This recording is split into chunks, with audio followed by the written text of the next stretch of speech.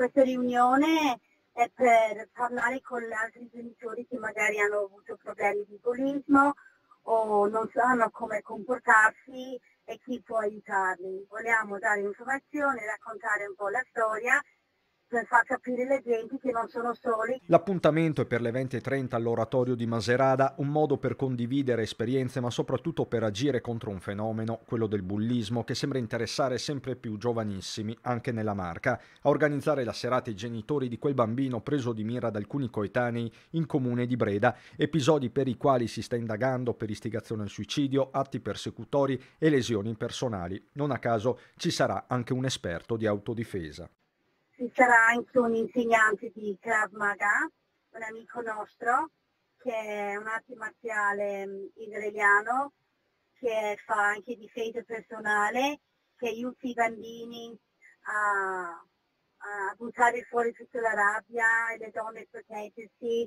A precedere l'incontro anche qualche polemica via social, c'è chi ha contestato per esempio come i fatti siano avvenuti a Breda, ma la serata si tenga a Maserada ingenerando confusione, non solo perché vieni nel nostro comune, perché devi lavare i tuoi panni sporchi in pubblico, vergognati, è un minorenne.